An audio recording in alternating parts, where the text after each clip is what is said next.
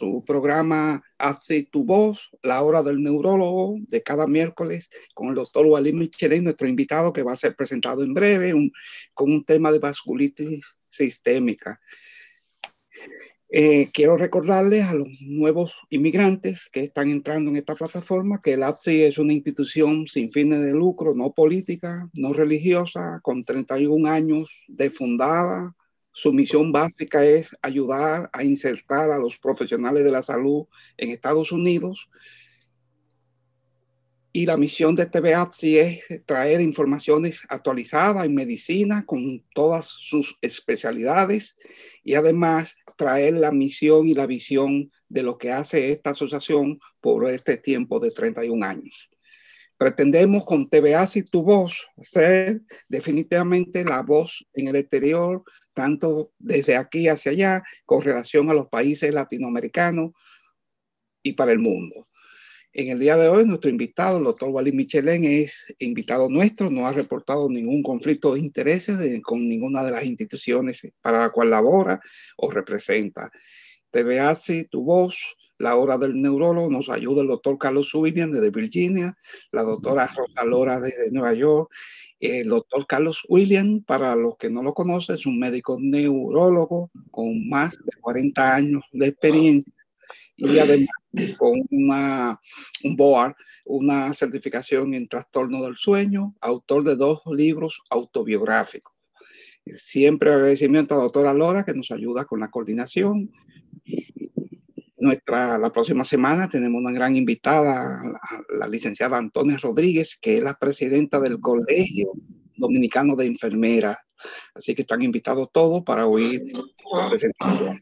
Quiero hacer una reseña bien breve de lo que han sido nuestros invitados en estos 11 meses de presentación, neurocirujano, del doctor José Joaquín Puello, doctor Marte Durán, a Mauri, psiquiatra, como la doctora Ibelicia Costa, la doctora Ángela Félix y el doctor Sócrates Castillo también ha sido nuestro invitado. Neurólogos del Perú, de la República Dominicana, de Santiago, nutricionistas también, como la doctora Fabiola Cortés, Angelina Arsenio, gastroenterólogo, psicólogo, miembros del Ecuador, profesionales del Perú, de Argentina, como la doctora Estela Soto, Fabiola Cortés de México, de Bolivia también la reconocida neuróloga especialista en múltiple esclerosis, la doctora Ingrid Paola eh, Miller.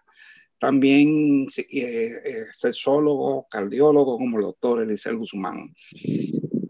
Profesores distinguidos de la UAS, rectores de la UAS han sido miembros invitados nuestros, también presidenta de, instituciones de salud como la presidenta de las bioanalistas dominicanos ha estado en estos programas. gracias al esfuerzo de la doctora Raiza Puerto Real. Doctor Fernando Sánchez Martínez, con una conferencia histórica, el doctor Sánchez Martínez habló sobre la historia y el desarrollo de la psiquiatría dominicana, al igual que hemos tenido conferencias interesantes como la historia de la radiología en la República Dominicana con el doctor Paliza, la historia de las residencias. Nuestra asociación tiene programas en la República Dominicana, representación, que pueden contactarlo. Ahí está la doctora Raiza Real, el doctor, el doctor Matos el doctor Cristian de León. Siempre agradecimiento a la doctora Raiza, que desde los martes a las seis de la tarde también coordina un programa que se transmite en vivo. Usted puede ser miembro de nuestra institución, si es todo laboratorista o enfermera. Eh, gracias a los nuevos miembros que se han registrado en los últimos meses, la doctora Puerto Real, la doctora Lora, el doctor Ramírez, la doctora Pela Rosenbaum de el Perú, nuestras certificaciones que ayudan a, pasar, a, obtener trabajo están siempre disponibles. Eh, eh, videos que ayudan a preparar el examen de, para los dentistas, igual que para los médicos, con dos videos que ya están publicados en la plataforma de, de YouTube, que lo pueden ver ahí también con el apoyo de, del doctor Benítez del Perú y la doctora Lora, que aprobó los exámenes también, miembro nuestro de hace varios años y que también nos ayuda a los nuevos inmigrantes a, a, a aprobar este examen de USMLE que sé que si su plan es emigrar a, a, Estados Unidos o está recién llegado y no sabe por dónde comenzar, con estos videos usted puede ya comenzar. Siempre les recuerdo a los nuevos miembros que tenemos un canal de YouTube que usted puede entrar, hacerse miembro, suscribirse y con eso está apoyando eh, la visibilidad de la asociación. Y ahí va a encontrar eh, conferencias actualizadas como la, la, del día de hoy. Gracias a la licenciada María Luisa Núñez que cede hoy su programa y transmite también en vivo este programa y lo pasa a través de su, emisora en Nueva York. Eh, con su programa Información al Desnudo. Ella es una educadora retirada que, siempre está, colaborando. Para hacerse miembro de esta institución, usted necesita una copia de su título, llenar una aplicación, una foto y solamente el pago de 100 dólares por el año completo. Conozca nuestro consejo directivo, el doctor Guzmán, Milagros y los demás que están ahí, que, y el doctor Williams, que ya ustedes conocen. Recordándole que para el sábado 15 de mayo y el domingo 16 de mayo vamos a celebrar nuestro quinceavo Congreso Médico Anual, el cual fue suspendido por la pandemia y ahora se va a hacer virtual. Están invitados todos. Estos son nuestros invitados preliminares que los vamos a publicar ya pronto en la página. Algunos han salido ya, gracias a un panel que vamos a tener también sobre el manejo del, del ACB con el doctor Williams. Le damos la bienvenida a todos ustedes y pasamos a la doctora Rosa Lora para introducir nuestro invitado en el día de hoy, el doctor Wally Michelén, que le agradecemos su presencia aquí. Gracias, Wally. Buenas noches eh, y bienvenido, doctor Michelén, siempre bienvenido a esta plataforma. Eh, eh, la Asociación Hispana de Profesionales de la Salud, como decía el doctor, tiene el honor de presentarles un tema muy interesante el día de hoy,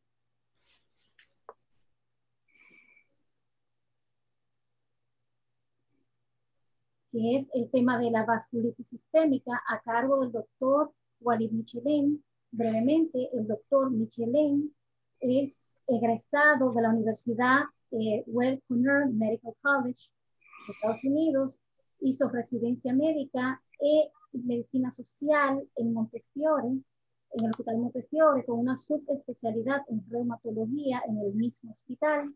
Eh, ha recibido entrenamiento en salud administrativa y de población fue ex, es ex director del Departamento de Medicina Interna del Hospital Bronx Lebanon, ex director del Hospital North Central del, eh, del North Central del Bronx, New York, es ex ejecutivo de la compañía aseguradora de MetroPlus, ex ejecutivo de la red de salud de la ciudad de Nueva York, entre otros cargos importantes ejecutivos de compañías muy eh, de mucho realce a nivel social.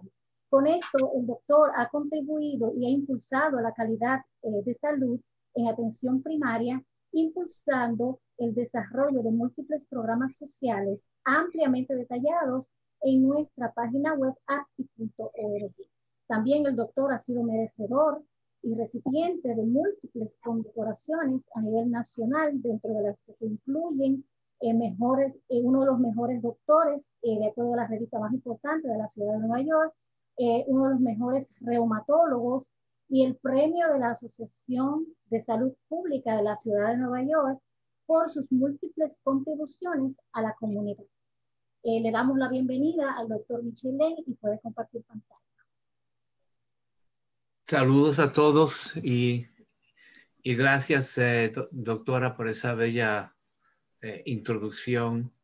Gracias a APSIS, doctor Restituyo, eh, por darme la oportunidad de poder compartir con ustedes en este momento este tema que es un poco eh, difícil de, de, explicar, de explicar, francamente, y de poder unirme a este tan grupo de médicos que han participado en esta, en esta hora que ustedes tienen semanal puedo ver a mi gran amigo Sócrates Castillo.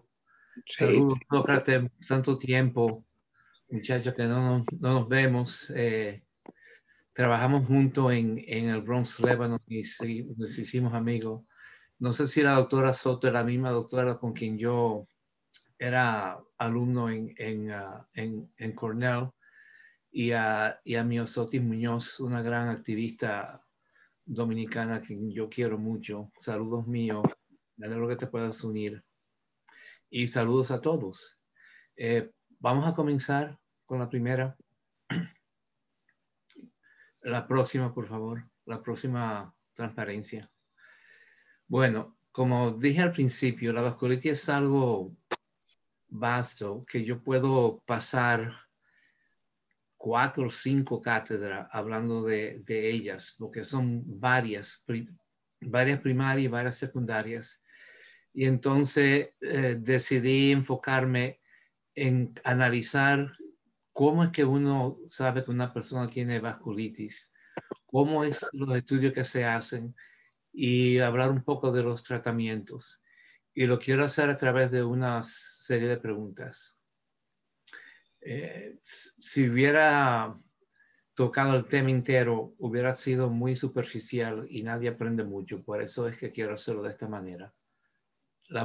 quiero también decir, antes de seguir, que yo aprendí mi medicina en este país y entonces eh, puede haber algunas fallas cuando uh, hable en español y que me disculpen si no pronuncio bien o no, otras eh, no traduzco bien las palabras de inglés al español. Tengan paciencia conmigo.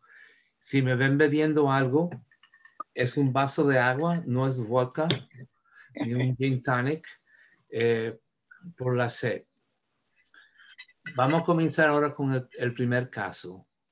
Eh, una persona de 36 años que tiene rinitis alérgica, tiene sinusitis, tienes dermatitis y tiene asma. ¿Y qué pasa? Que ella, su, médico de atención primaria, eh, no sabe qué hacer y la refirió a un especialista por los síntomas respiratorios que han tenido se han exacerbado. Tuvo una tos que se, que se empeoró en los últimos tres meses. Eh, la, la, tos eh, produce mucha, mucha flema Ah, pero no, tiene, no está sangrando y no tiene hemóptisis. Tiene una eh, rinorrea crónica que se ha empeorado recientemente y no ha podido oír bien eh, en los últimos seis meses. Claro, le han dado antibiótico para la sinusitis cuatro veces en, los últimos, en el último año y ha tenido que usar su inhalador eh, para el asma eh, frecuente, frecuentemente como cuatro veces a la semana y por el asma que, tiene. También le han dado cortisona para ver si se puede controlar el asma y ahora tiene dolor en el pecho ah, el último mes que, se, se empeora cada vez que trata de caminar o se ejerce demasiado.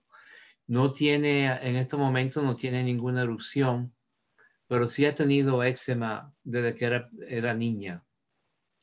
Ahí ven los, los medicamentos que ha tomado, un antihistamínico, la eh, fluticasona ah, y un corticosteroide, corticosteroide eh, nasal. Eh, la próxima, por favor. Ok. Uh, ¿cuáles de lo que yo acabo de ah, hablar eh, pueden ser parte de una vasculitis? No sé si pueden usar el chat para, para, eh, para responder. Para responder, gracias. Para responder, sí, lo puedo usar, claro que sí. ¿Alguien tiene la doctora Laura puede, y Restituyo puede, pueden ayudar con eso. Ok. Pero básicamente dentro de los, el patrón de la vasculitis son, es un conjunto de eh, síntomas generalizados vagos que no tienen una atribución específica a una patología dentro de los que se incluyen fatiga, puede ser dolor muscular, dolor articular, puede ser dolor de pecho, pero el dolor de pecho no isquémico, de carácter no isquémico, puede tener o no ciertas eh, eh, lesiones maculares, pero en este caso ella no la presenta. Pero sí, en general, sí, es, la vasculitis se caracteriza por eso y esta fatiga viene de una anemia crónica, por un tipo de enfermedad crónica, que es una característica de la vasculitis. Y, y, Vamos a doctor Michelin, por favor. Si puede poner la diapositiva anterior, entonces yo recuerdo la sintomatología. Bueno, la, respuesta es el E. Todos. Todos, todos. Yo sé que la doctora ah, Soto puso D, pero que, todos se incluyen. Eh, como van a ver en, unos momentos, esto ayuda a identificar mucho cuál es la enfermedad que esta persona tiene. Eh, es decir, que esta persona que se presenta con unos síntomas normales eh, que no han podido ser manejados bien por su doctor, en realidad tiene vasculitis vamos a la próxima, lo, voy a explicar. En el examen físico no tiene fiebre, está respirando a 18 por minuto, eh, el corazón está latiendo a 105, tiene una dermatitis eh, atópica eh, en, los codos. Perdón, que vamos al anterior, por favor. Gracias. Eh, tiene otitis media bilateral. Normalmente la otitis media es unilateral. Por favor, déjenlo ahí hasta que yo no indique que sigan. Gracias. Eh, tiene un flujo nasal y, poliposis nasal también. Se le, se le oye un silbido al respirar Ah, también. Eh, el examen del corazón, eh, además de la taquicardia, es normal y el examen neurológico también es eh, normal. La radiografía sinusidial es consistente con sinusitis crónica y como pueden ver lo, que está mostrando un, ah, perdón, uh, un engrosamiento mucoso eh, en, los, en, los, en, las, en los sinuses y también los sinusitis, los sinus, los sinusitis frontal eh, también están abnormal. La radiografía eh, se pueden ver cambios intersticial a la vez. La próxima. Ok. Le hacen un eh, CAT scan del, del, pecho y pueden ver que, que tiene espesamiento mucoso uh, y también tiene eh, daño irregular. Eh, el, el, electrocardiograma tiene eh, pero, ah, y el troponin es negativo, el troponin para ver si tiene un infarto. Eh, las pruebas, eh, la, prueba de, función pulmonar es, eh, demuestra un defecto obstructivo y la, capacidad de difusión está reducida a 70%. Su, tiene un, contagio de esinofílico ah, sumamente elevado también y el, el nivel de, de, sedimentación también está muy, elevado. La urinalysis está normal. La próxima.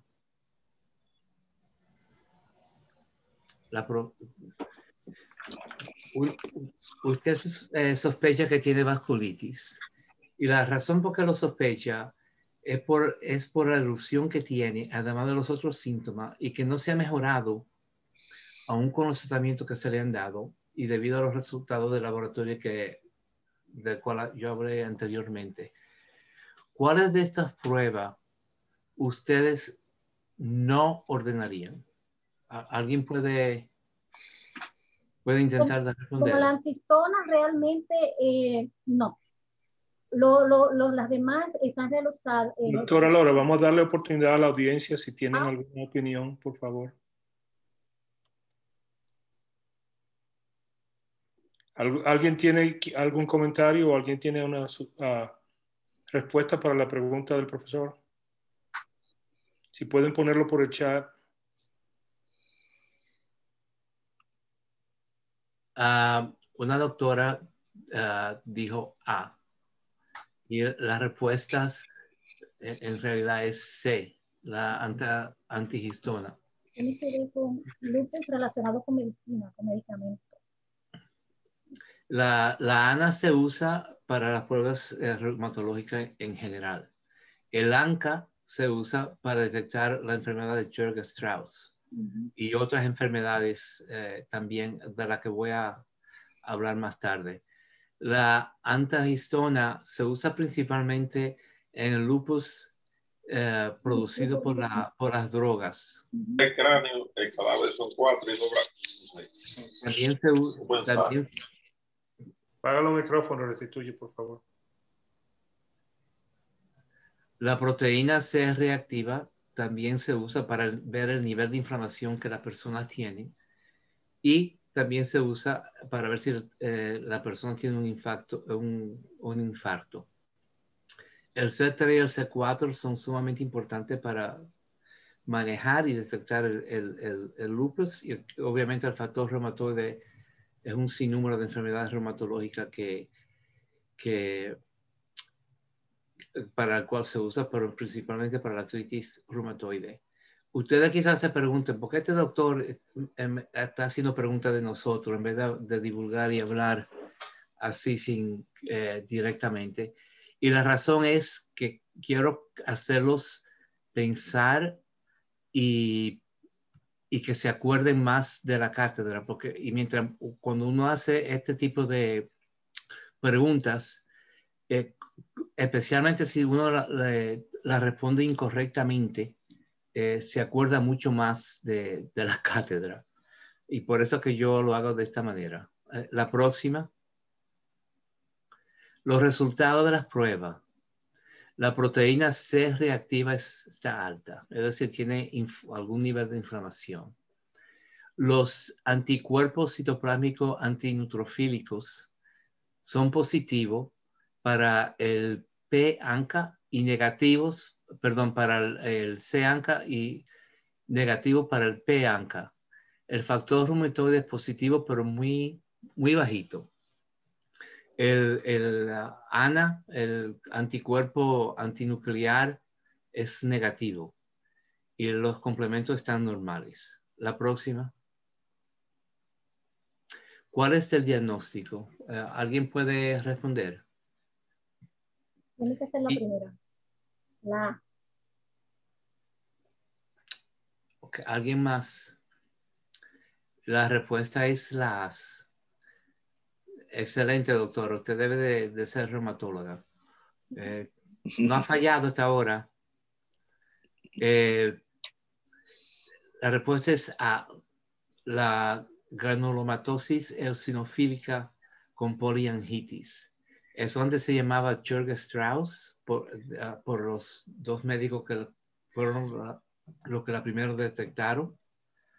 Ah, la TB con vasculitis, la TB puede causar vasculitis, pero es sumamente raro.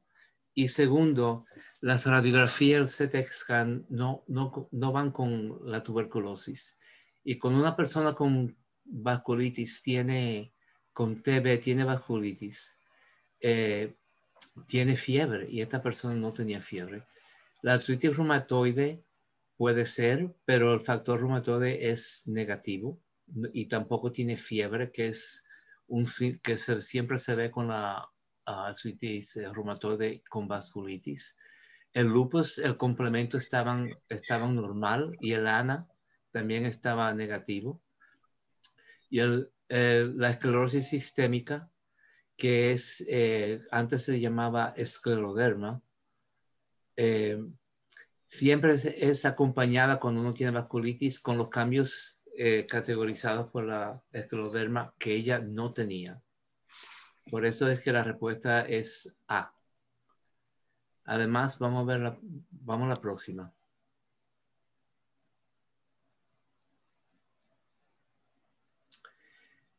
Ok, este es el Jurgen Strauss. eh, así se llamaba antes, una vasculitis de las arterias pequeñas y medianas de tamaño. Es muy rara, 2.4 casos por 100.000 personas. Y siempre la persona comienza, la primera fase no se siente bien.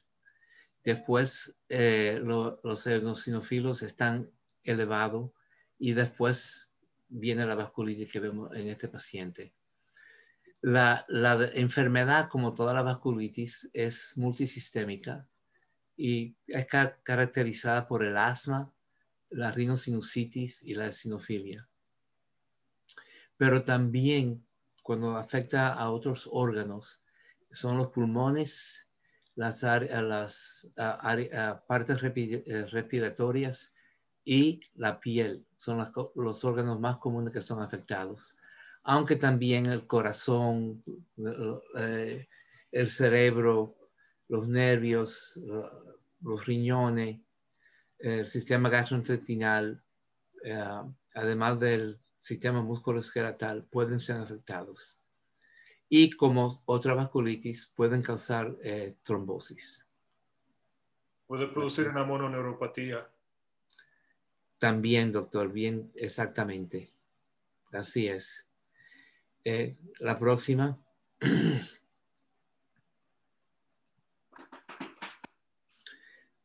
¿Qué es la vasculitis? Es una enfermedad de las arterias con inflamación y daño. Puede afectar directamente a, las arterias, por eso pueden, como dijo la doctora Laura anteriormente, causar daño en, eh, el corazón y puede ser, puede ser causada por otras enfermedades sistémicas, no solamente eh, primarias.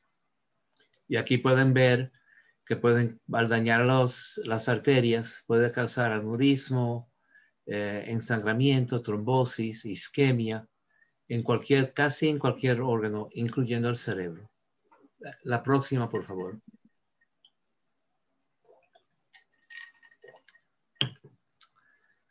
¿Cuáles son, ah, y doctora Laura, le, pido que espere que alguien la audiencia intente responder, ¿cuáles son las causas secundarias? Eh, cáncer, como la leucemia, el linfoma, infecciones como la hepatitis C, que es la más común, enfermedades reumáticas, eh, como pueden ver aquí, el, lupus, la, la, esclerosis sistémica, la artritis reumatoide, y reacciones alérgicas a, los medicamentos. Y claro, y, la respuesta es todo. También. Eh, la doctora Hermosen Almonte tiene la, respuesta correcta, todas. Y para aquellos que están tomando los exámenes, si ustedes saben que dos de, los, de las respuestas son correctas, no lean el resto, vayan a, todas, así se ahorran tiempo. Eh, pero todos todas estas causas, pueden, todas estas enfermedades pueden causar eh, la vasculitis. Eh, la próxima, por favor.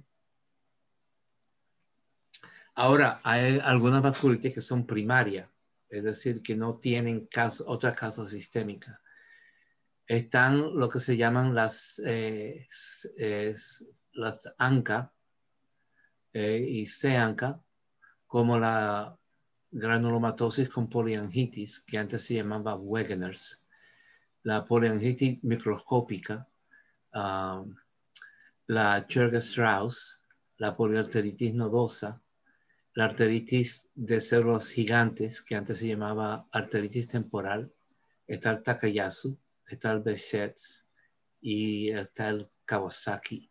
Y se ha descrito, como algunos saben, una vasculitis también en niños ahora con el, con el COVID. No la puse porque ella es, no es niña y yo no soy pediatra, pero también ténganlo en, mente. Eh, otra vez, para aquellos que están estudiando para el examen, debe, si están estudiando vasculitis, debe de familiarizarse con los nuevos nombres porque en el examen me, le aseguro que van, van a poner esos y no los eh, nombres antiguos como el Wegener's o el Churg-Strauss. La próxima. ¿Cómo se diagnostica la vasculitis?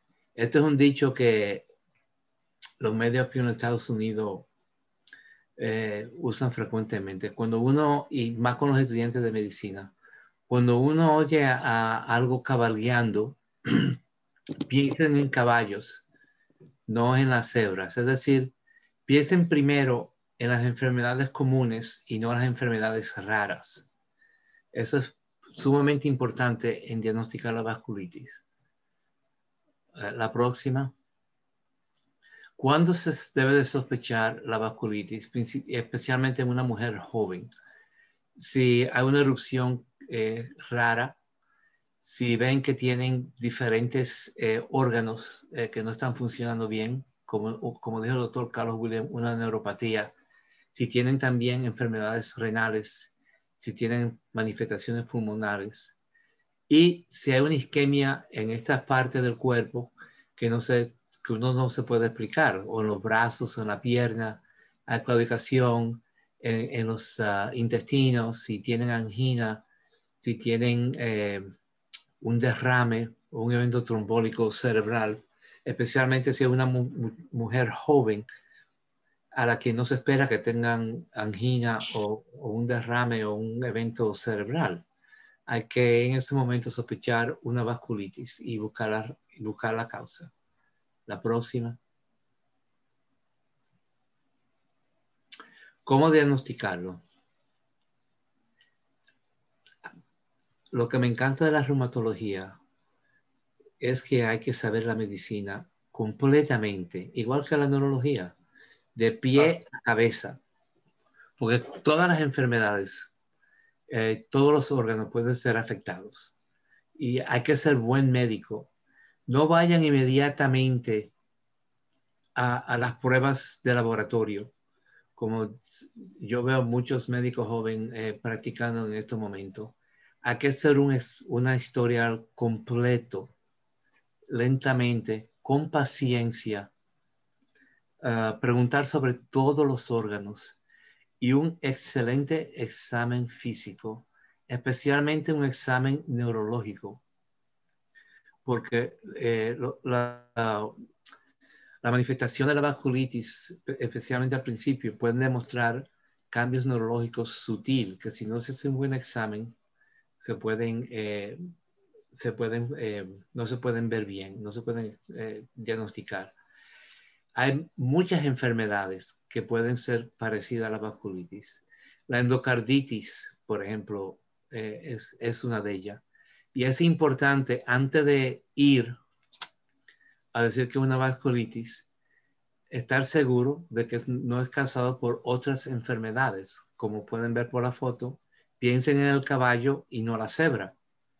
Es importante saber cuáles pruebas ordenar y el por qué, en vez de ordenar un panel completo, porque si no puede llegar a confundir a las personas. Acuérdense que mientras más pruebas ordenan, más eh, chance hay de que las pruebas sean eh, falsas y pues, eh, le den una prueba positiva que, que, es falsa.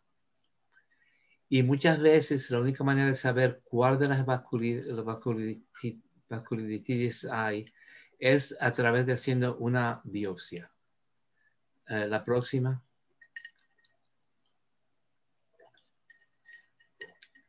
Entonces, ¿qué pruebas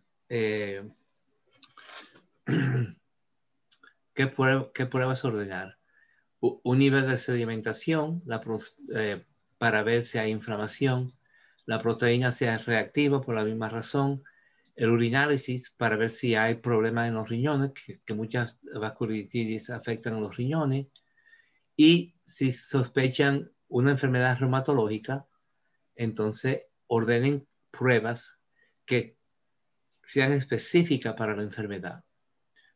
Así que, por ejemplo, para la artritis reumatoide, el factor reumatoide, el CCP, que es específico para la artritis reumatoide, para el lupus, el ANA, el ah, anti-ADN, que si, es positivo indica que es lupus y enfermedad, uh, en los riñones, el antihistona, el anticuerpo, ay, perdón, esa falla de ortografía, anticuerpo para los fosfolípidos, anticuerpo para el RNP, SM, hay muchísimas pruebas hoy en día para el lupus.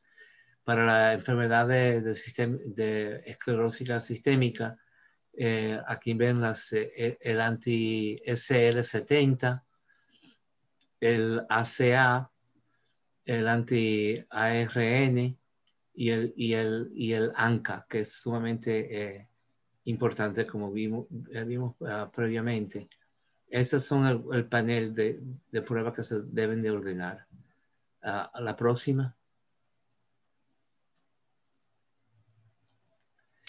Entonces, el ANCA, el P-ANCA eh, va al mieloperoxidase.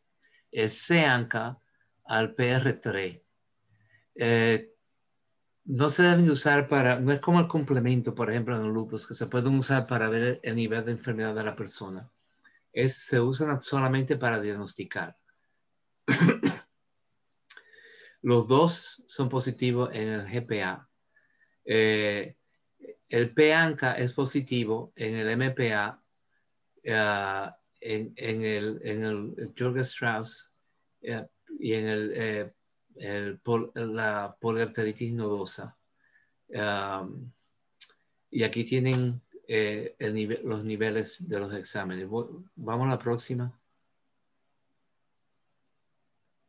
El C-ANCA puede tener resultados positivos que son falsos. Pueden ver la tuberculosis, aquí vienen el mieloma múltiple, el VIH, el Hodgkins, uy, otra ortografía.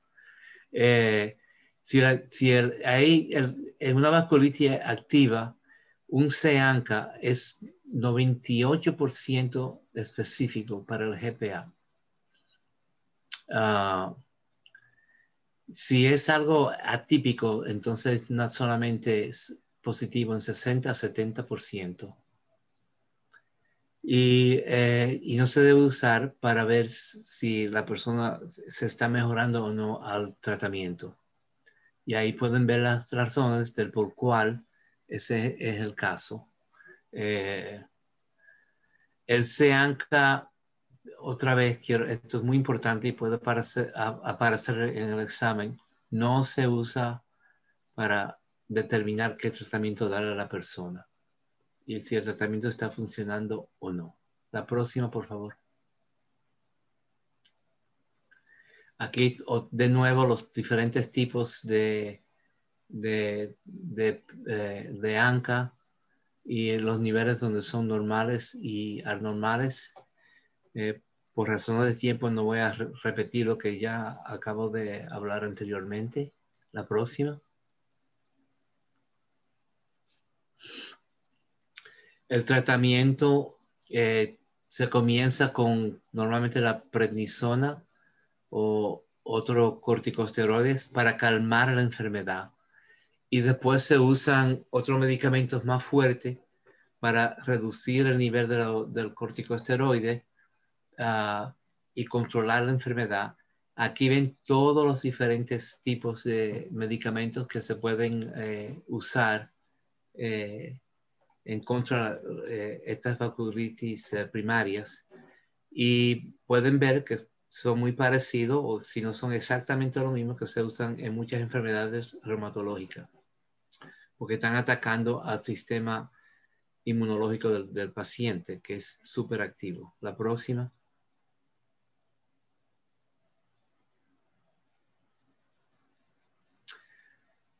Eh, por final, eh, vamos a, un caso. Este es el caso de una mujer de 59 años que tiene una erupción que, le pica en, el codo eh, y está en sus nódulos eh, reumatoides, porque ella tiene artritis reumatoide.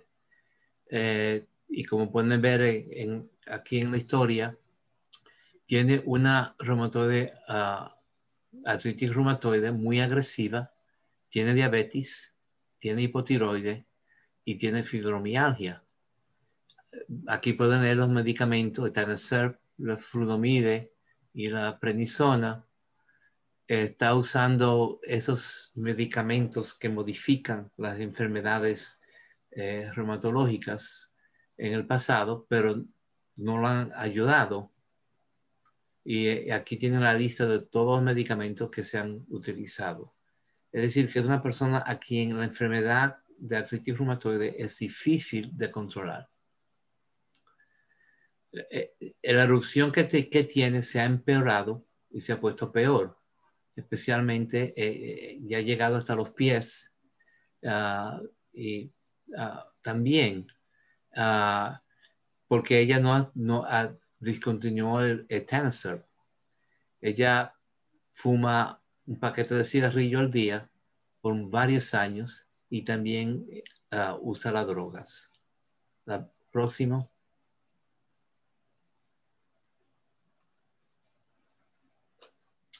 Aquí pueden ver la erupción que tiene y también pueden ver eh, el problema que tiene en los dedos ¿no verdad? La úlcera, la erupción, eso es característico de una vasculitis. Eh, ella sigue no usando eh, su medicamento y por eso se, pueden ver nuevas uh, úlceras ah, y también el cirujano encontró que tenía gangrena debido a la, gangrena y las úlceras, se tuvo que parar por completo los medicamentos y así que ella empeoró, claro. La próxima. Ok, primero, eh, ¿qué pasó? Eh, eh, cuando se mejoró de la gangrena, ella, aunque se le, llamó para, la cita, ella eh, se negó a venir ah, y siguió empeorándose, como pueden ver en la primera parte. Y entonces la trajeron al departamento de emergencia por cambios eh, neurológicos que tenía y, de, demencia. Entonces, cuando le sacaron sangre, el, el factor reumatoide era positivo, el, nivel de sedimentación estaba sumamente alto, la proteína reactiva también estaba alta, eh, el, contado de córpulos eh, blancos elevada, el nivel de córpulos rojos bajito a la vez. fue le dieron eh, antibiótico porque se sospechaba una infección, ah, tenía, porque tenía osteomielitis y tenía ah, esas erupciones eh, que tenía en, los brazos y en las piernas eh, fueron de gran preocupación para los médicos porque se, eran mucho, mucho peor y entonces hicieron una biopsia. ¿Cuál es la causa más probable que tiene la persona. Esto es una vasculitis debido a, un medicamento. De cicloroquina, droga Doctora, por favor, deje que yo acabe. Ah. Gracias. Eh, tiene eh, eh, trombosis debido a, la, en, en, la piel debido a un estado de trombosis general es celulitis, es vasculitis reumatoide, es estasis de, dermatitis eh, o tiene un eh, trombosis debido a, una infección. Eh, ¿Alguien puede tratar de intentar de saber cuál es la respuesta? Ok. La doctora Soto dijo artritis reumatoide. Es correcto esa respuesta. Eh, ¿Y por qué? Eh, primero, vamos a la próxima por un momento. La próxima. Ah. La próxima. Gracias. Es lo que dije al comienzo, ¿no? Si uno oye el cabalgueo, piensen en el caballo, no en la cebra. Esta persona tiene artritis reumatoide y lo más probable es que esa es la causa. Entonces, como médico, deben de enfocarse en ver si ese es el caso o no.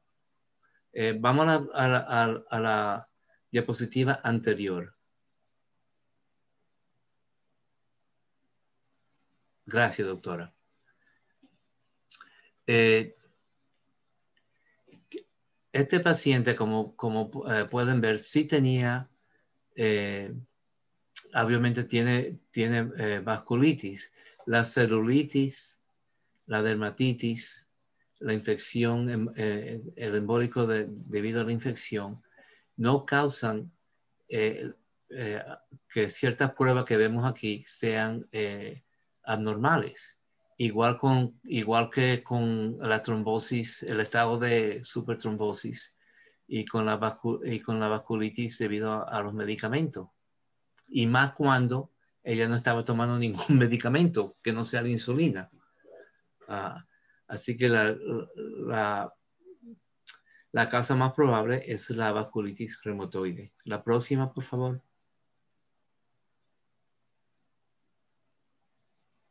Y la próxima. Aquí ven la respuesta. La fiebre, el nivel de sedimentación aumentado, los corpus globos, tiene o una infección o una, o una enfermedad inflamatoria. Próxima. Como había dicho, ni la dermatitis ni el, estado de hipercoagulación coagulabilidad, discúlpeme, eh, causan eh, eh, los resultados que, habíamos demostrado anteriormente. La próxima. Y un, un embolismo infeccioso puede causar inflamación, no causan normalmente la erupción o la úlceras que tiene, que tiene este paciente. Próxima. la celulitis no causa cambios eh, mentales. Próxima. Y aunque la presentación de vasculitis debido a un medicamento es igual que la vasculitis reumatoide, no causa un nivel alto de, de ser reactiva de la proteína C sea reactiva eh, normalmente. La próxima.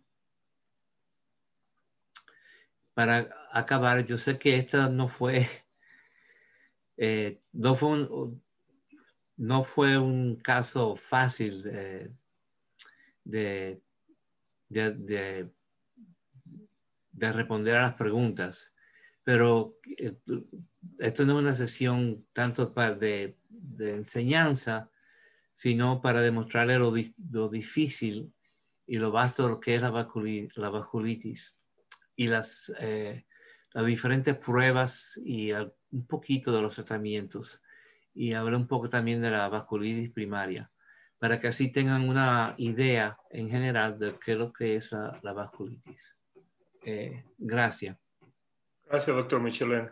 Gracias, ah, William tengo que decir que de las cosas que usted discutió en el cuadro donde presentó las vasculitis más frecuentes, por ejemplo, cuando habló de Wagner, cuando habló de Bechet, cuando habló de temporal arteritis o giant cell arteritis, cuando habló de esas cosas, todo eso es parte del armamento neurológico, porque nosotros encontramos esos pacientes algunas veces antes de ir al reumatólogo, porque los médicos primarios lo mandan por los problemas que se presentan con, esos, con esas enfermedades, sea alteración mental, sea dolor de cabeza o cualquier otro problema funcional que afecte al paciente.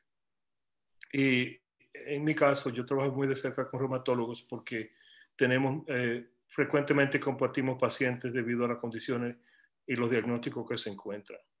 Quiero agradecerle su tiempo por estar con nosotros y ah, compartir su experiencia. Ah, si alguien más tiene alguna pregunta. está levantando la mano, levantó la mano la señora, la doctora Lorenzo, o Nona Lorenzo, parece que tiene alguna pregunta. Si puede abrir su micrófono, por favor. Eh, Nona, eh, Lorenzo, puede abrir su micrófono.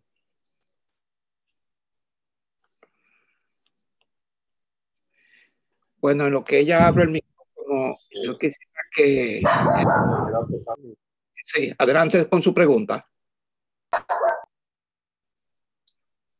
Pero quiere saber algo. Ah, ok, no.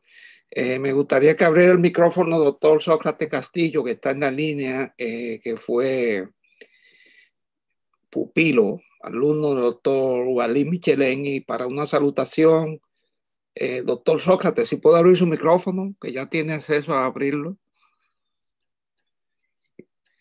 Doctor Castillo, un médico psiquiatra que se formó con el doctor Michelén hace muchos años atrás, recordando que el doctor Michelén dirigió programas de residencia en el Bronx Lébano por 10 años y, y, gracias a él, Sócrates, sigue adelante.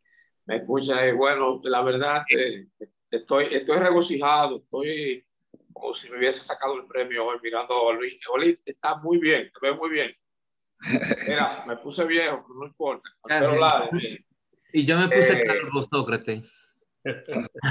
Interesantísimo, Walid. Fíjate, tú sabes que yo estoy trabajando hace cinco años en el Instituto de Cáncer, INCAR. Yo dirijo el servicio, yo soy gerente de psicología y bueno, he tenido que aprender mucha, mucha, mucha oncología ahí. Eh, pertenezco a los comités de, de tumores de, de, de, pulmón, donde participo en la parte de, de prevención y tratamiento de los pacientes que fuman, eh, con el cáncer de pulmón, también en los cánceres de mamas y el, el comité quirúrgico. Y, y, bueno, la verdad que, que sí, es muy, es muy, frecuente la vasculitis en los pacientes cancerosos. Esta tarde tuve la, la oportunidad de conversar con el, el ya Penelo, que está ya, está interno allá hace tres días, está muy mejor, hizo una infección muy, muy severa. Y, y ha sido una experiencia muy importante para mí quizás, quizás me, me, me, siento mejor trabajando con pacientes oncológicos, que es mi subespecialidad, que es adicciones, que, que, yo trabajo. Y te quería decirte también que eh, me volvieron a designar en el Hospital Central como jefe de la unidad de intervención en crisis, allá en psiquiatría general. Wow. eh, para mí es un inmenso placer de verte de nuevo, Bolín. Sabe que mi agradecimiento a ti es eterno. Yo te quiero como un hermano. Y, y yo eh, la razón que tú no me, ves, no me ves por Nueva York, tú sabes que yo tengo un problemita de salud cardíaco, que fue, fue sí. por lo que vine allá. Y cuando el avión va muy alto, se me, se me desprende. Oh. Y por eso es que no viajo mucho. Eh, creo que tengo que ir en estos días para dar mi retiro del Army. Oh, eh, wow. Sí. Me, me, excelente conferencia, Walid, y espero que cuando vengas al país pues eh, nos comuniquemos para enseñarte un proyecto que tenemos en Macorís que voy a dirigir allá en San Francisco. Sin falta, Sócrates, sin falta. Me alegraría verte. Sí, muy bien. Eh, a, a restituyo que te, te, facilite mi teléfono, pero tiene ahí. Si bueno, normal. Ok. Doctor Castillo, eh, también está en la línea un alumno del doctor Walid de muchos años y gran soporte a través de, de él conocimos el trabajo de Walid. Doctor Bautista. Uh, Fiquito, ¿se puede abrir tu micrófono para que salude a, claro. a ¿Bien? No, que, que estoy. Fico, wow. todavía, todavía estamos vivos. Me alegro, me alegro. Wow. Y haciendo referencia a lo que Sócrates está viejo y a que tú estás calvo, a mí me ha tocado que estoy calvo y estoy viejo. Ah. Mira, te quiero, te quiero felicitar, Wally, porque, I mean, como dijo Sócrates, es, e, es eterno, es eterno este agradecimiento, porque en ti, eh, igual que en, en, el doctor Marco Charles, nosotros los dominicanos y muchos latinos y de otras, otras partes del, del orbe terráqueo, claro. encontraron en ti un, un gran oído de un hombre no interesado en dinero, sino interesado en el progreso del paciente. Y eso mismo transmitiste tú a muchos de nosotros. Eh, o sea que esta conferencia la veo como una oportunidad para saludarte y para mostrarte eso, que de tanta y tanta gente que siguió tus pasos, te son agradecidos. O sea que no fue en vano todos esos dolores de cabeza que te hicimos pasar, hermano Michelén. Eh, la segunda cosa que te quería decir es que eh, admiro la forma de tu presentación porque prácticamente estás siguiendo los mismos pasos que siguió eh, Sócrates, el de, el de la época de antes de Jesucristo. sí, y ahí, ahí es que estriba la diferencia entre enseñanza y educación, precisamente, en que tú le estás preguntando al que te está viendo a que diga parte de la conferencia, y eso es lo que se llama educación, o sea que te felicito por ello. Ay, gracias, Fico, un placer oír de ti y esas bellas palabras. Eh, pienso yo no merecida, pero gracias por ella. Y, claro, no. Y, y, una cosa con respecto al, al, al, neurólogo, al doctor Williams, al cardiólogo, doctor Guzmán, y a, a los reumatólogos, a los psiquiatras, recuérdense del cuento de aquel que se decía que era el más importante del cuerpo. El cerebro decía, no, no, no, no, sin mí no pasa nada. Y el del corazón, olvídate, que sin mí, si yo no estoy en el latido, tampoco pasa nada. El psiquiatra lo mismo, el reumatólogo lo mismo, pero el gastroenterólogo dijo, ajá, mira, acuérdate que el intestino tiene el recto y si su parte final se tranca, se dañó el juego, se, se trancó el recto, se dañó el juego. O sea que tiene que tener eso pendiente. Un aporte. Uh, desde hace años ya los, los institutos nacionales institutos nacionales de Quito, no se está oyendo y se nos está acabando el tiempo, por favor. Se fue el audio. Sí. Ya hace años. Adelante. ¿Me escuchan? Sí, ahora sí.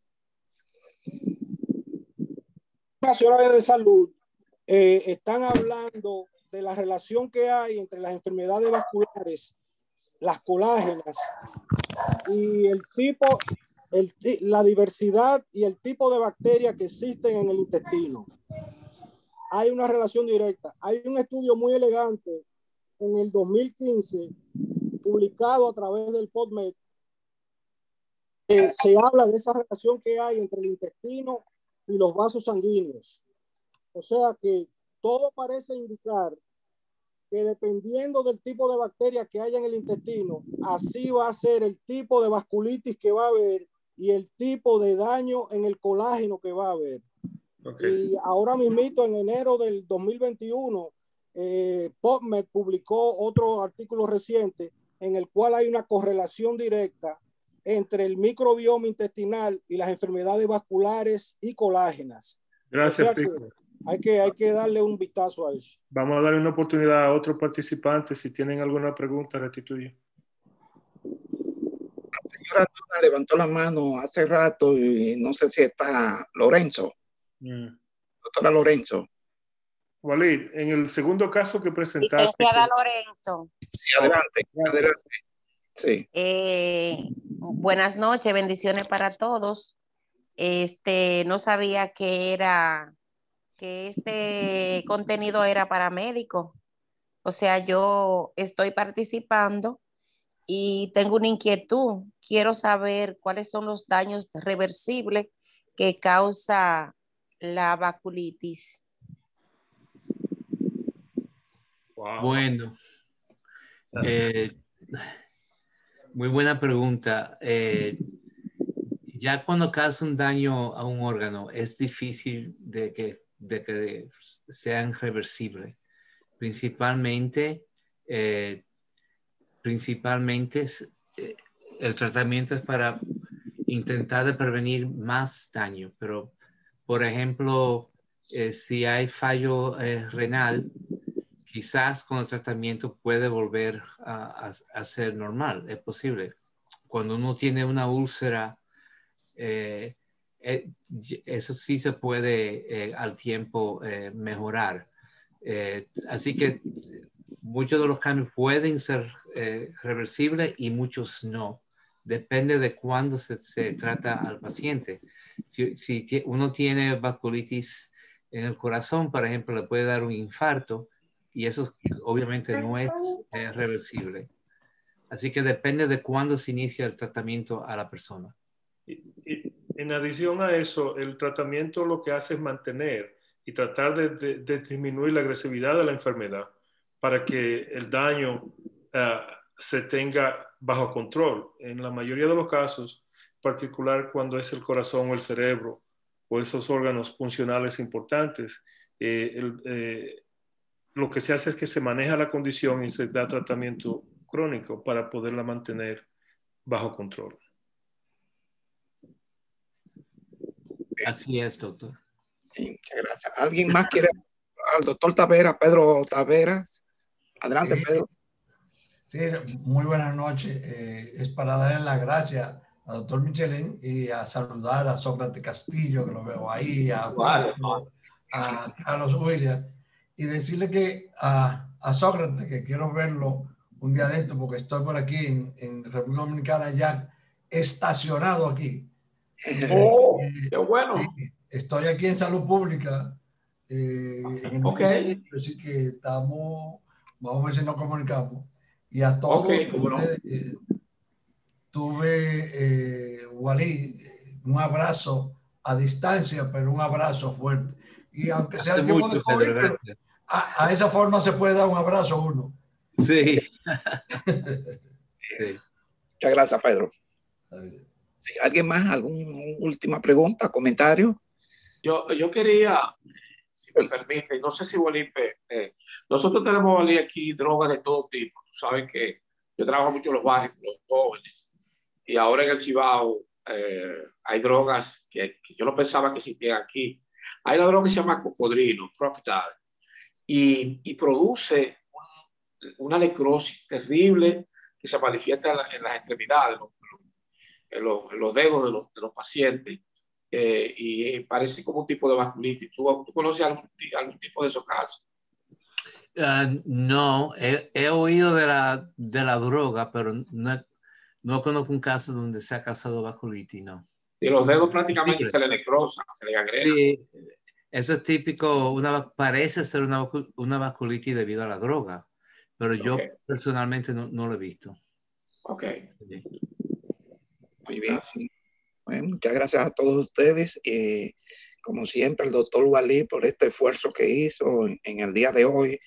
Y quiero a nombre de él y de su familia también adelantar que allá aprobamos, vamos a estar invitado, invitado igual que el doctor Bautista. Y todo, vamos a hacer una presentación especial para histórico con su familia, su papá que murió hace poco, de 95 años, y aportó mucho a la medicina de New York. Conocer esa historia la vamos a traer aquí a este programa, el doctor Nasserin Michelet, que fue un ejecutivo de la Corporación de Salud y Hospitales del área de Nueva York. Que sí que igual te agradecemos que haya aceptado, que podamos hacer un panel también con invitados sobre la fundación, que también tengo entendido que tú la diriges ahora, si quiere decir algunas palabras sobre, sobre el tema, que pues está invitado ahora a hacer una introducción. Gracias, eh, Sócrates. Eh, la Fundación Nasser Michelén es a nombre de mi papá. Yo soy uno de los miembros de la Junta, yo no la dirijo, yo no la fundé, la fundó el doctor eh, Marco Charles, la, de, la dirige ahora Cira Ángeles. Y hay varios eh, médicos, además de, de mí, como el doctor Tapia, el doctor Antigua, uh, eh, eh, también el doctor Chichita Vera, eh, que, que, participan, uh, la doctora odontóloga Amarilis Castillo y, otras, y otras personas. Y el propósito de la fundación es de, y ya creamos una beca para estudiantes en Hostos, debido a que mi papá fue el presidente fundador de, de Hostos, además de ser el, el presidente, de, el director ejecutivo del Hospital Lincoln. Eh, ya comenzamos una beca eh, y, uh, para estudiantes en Hostos y además eh, hemos comenzado unas series de cátedras eh, cada una vez al mes auspiciada por, ah, por, por Hostos para los estudiantes y, y para el público. Eh, y son todas sobre el tema de medicina. Así que yo quizá te pueda, eh, doctor Restituyo, mandarte el link para aquellos que estén interesados puedan asistir a, las, a las, charlas, que, que, son muy interesantes. La última fue de un neurólogo eh, de Columbia Presbyterian. La próxima yo hablaré de el impacto del COVID en los envejecientes también y así cada mes. Eh, el próximo mes en mayo será el doctor Tapia hablando sobre el COVID en los niños, algo que no se ha discutido mucho. Um, y por final quiero agradecerle al APSIS, tú sabes, ustedes restituyo, tú sabes muy, y el doctor Fermín saben que yo he apoyado al APSI y al doctor Williams por muchos, muchos años, casi desde su principio. Uh, Siempre. Y, siempre me prestaré al servicio de ustedes en cualquier momento. Eh, te quiero decir presente. Espero que ustedes aprendieron algo, que no se durmieron en lo que yo estaba hablando, o viendo su correo electrónico, o respondiendo vía text, y que aprendieron un poco. Si quieren repasar, yo estoy seguro que se quedará postulada en, la página web del AFSI. Gracias por esta oportunidad. Gracias por tener tu noche, Valeria, y compartir tu tiempo con nosotros. Gracias, Carlos. Bueno, doctora Lora, doctora Raiza Puerto Real por el apoyo y el soporte.